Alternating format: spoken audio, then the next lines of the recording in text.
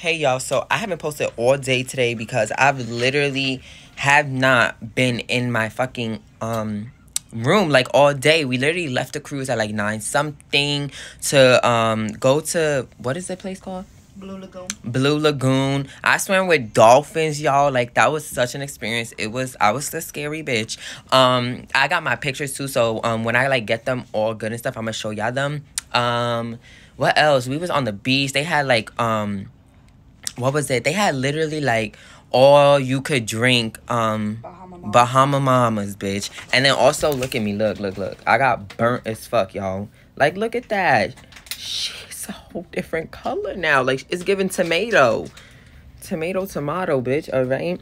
And I need to get in the shower now and wash my hair. And also, look, I feel like because I've been in chlorine, my hair is fading. My only got my hair done like two last week. Like, come on now.